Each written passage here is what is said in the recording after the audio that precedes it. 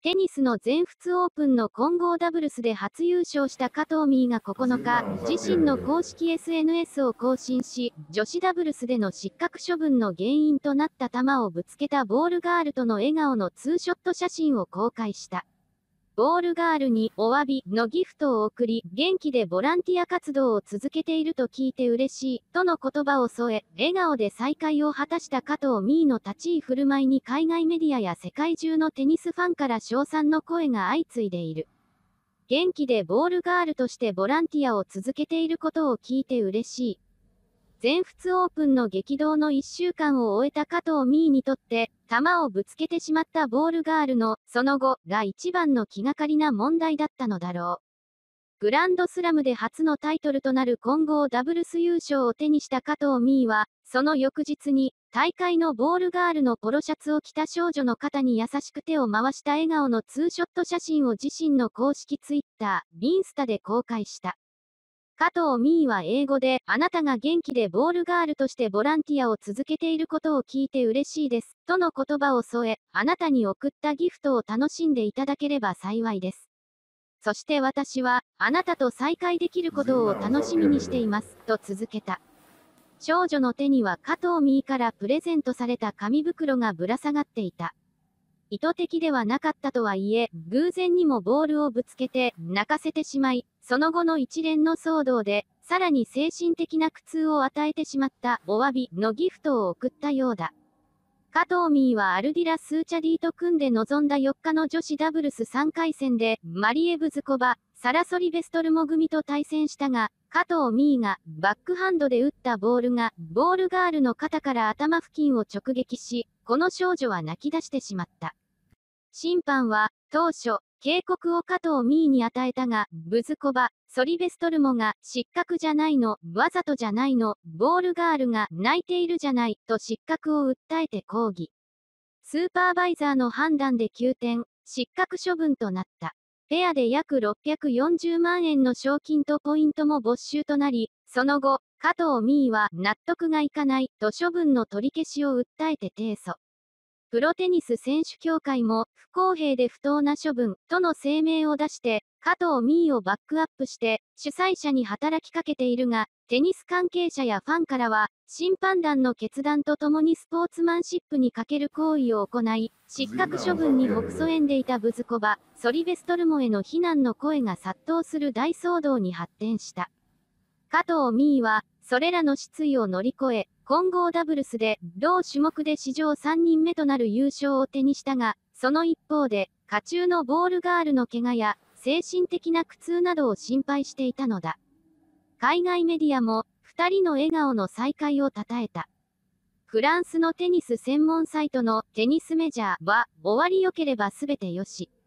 加藤美ーがボールガールにギフトをプレゼント、との見出しを取り、ローランギャロスの混合ダブルスの新チャンピオンの加藤美ーが、女子ダブルスの試合中に誤って球を当てて失格につながることになったボールガールと再会し、彼女にギフトをプレゼントした、と伝えた。加藤美ーのインスタを掲載して、二人は晴れやかな表情で写真に収まり、加藤美ーはその後にソーシャルメディアで内容を記した、と報じた。インドのスポーツメディア、スポーツキーダは、彼女はソリベストルも、ブズコバをいろいろな意味で終わらせた、失格処分に関わらず加藤ミーのボールガールに向けた思いやりの姿勢にテニスファンが反応、との見出しを取り、ボールガールに、お詫び、のギフトを送り、その精神的な影響を気遣った加藤ミーの立ち居振る舞いを称賛する世界中のファンの声を紹介した。同メディアは、女子ダブルスの試合で、失格処分を受けたにもかかわらず、誤って球をぶつけたボールガールにギフトをプレゼントした加藤美ーの親切な立ち居振る舞いに対し、テニスファンがソーシャルメディアで感謝の意を示した、と伝え、加藤美ーの投稿を掲載しつつ、ファンのソーシャルメディアでの反応をこう伝えた。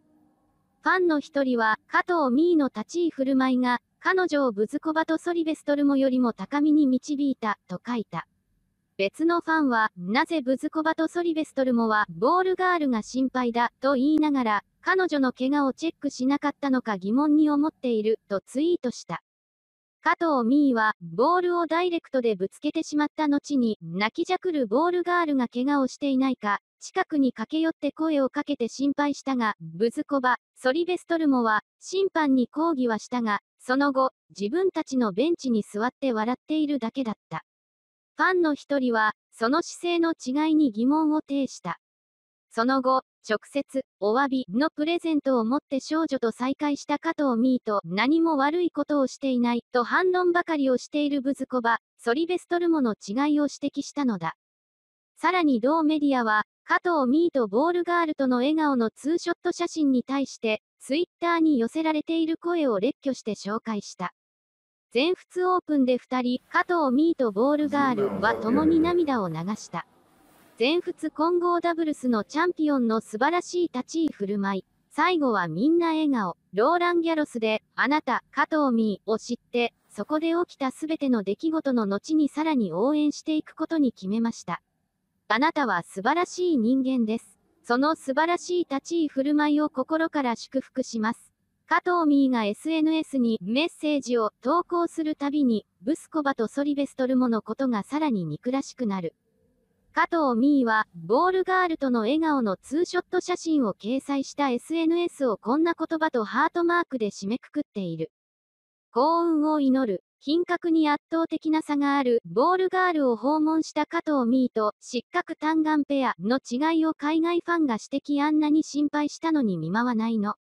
四大大会全仏オープンの混合ダブルスで見事優勝を果たし、キャリアで初めてグランドスラムのタイトルを獲得した加藤美。今や日本のみならず欧米でも時の人となった印象だ。彼女の名を一躍有名にしたのは女子ダブルス3回戦でのハプニングだった。加藤ミーはアルディラスチアディ、インドネシアと組マリー・ボーズコはサラソリベストルもチェコ、スペイン、組と対戦。その第2セット第5ゲームで加藤美ーが相手コート側へ軽くボールを打ち込んだところ、なんと打球がサービス用のボールを相手ペアに渡そうとスタンバイしていたボールガールの頭部を直撃してしまう。涙が止まらない少女。加藤美ーは歩み寄って、大丈夫。わざとじゃないのよ、と語りかけて謝意を示したが、大会側は危険行為とみなして失格処分を言い渡した。主審は当初警告を言い渡したものの、対戦ペアが執拗に抗議したことを受け、スーパーバイザーとレフェリーも登場。協議を重ねた末に、賞金とポイントも没収される厳しい裁定が下されたのだ。選手仲間たちから加藤ミーに同情の声が集まる一方で、坊主コワとソリベストルモのスポーツマンシップが欠けた振る舞いには非難の声が相次いだ。さらに、私たちは悪くない、ボールは2倍強かった、など反論を展開したため、炎上がエスカレート。2人のインスタグラムには合わせて3万件を超える批判コメントが届くに至った。そして混合ダブルスで優勝した直後、加藤ミーはインスタを更新。状況を心配していたボールガールとの再会を果たし、プレゼントを送ったことを報告した、あなたが元気にボールガールとしてボランティア活動を続けていると聞いて嬉しく思います。本当にハッピーです。私が送ったギフトも喜んでもらえればと思いますし、また会える日を楽しみにしています。幸運を祈っています。と綴り、少女の肩を優しく抱く笑顔のツーショット写真を添えたのだ。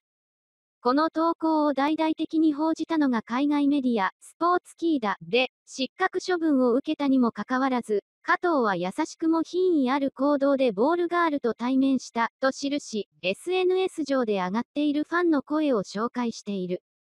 当然、加藤ミーの振る舞いを称えるコメントが体制を占める中、同メディアは坊主コアとソリベストルモとの比較を展開する意見に目を向けた。加藤は素晴らしい。坊主コアソリベストルモとは品格に圧倒的な差がある。彼女はあらゆるレベルで坊主コアとソリベストルモを終わらせたわね。坊主コアとソリベストルモは試合中あれだけボールガールのことを心配していたのに、どうして見舞いの一つもしていないんだい。結局はすべて自分たちの哀れなビジネスのためだけにやった行動なんだよ。他にも、ボールガールが元気でよかった。加藤を応援したくなったよ。ただのアクシデントだったのは明らか。優勝おめでとう。チリからハグを送る。プレゼントまで用意するなんて素敵。あの日は二人とも泣いていたけど、最後は笑顔で追われて最高だね。など、海外ファンからの様々な反応を掲載している。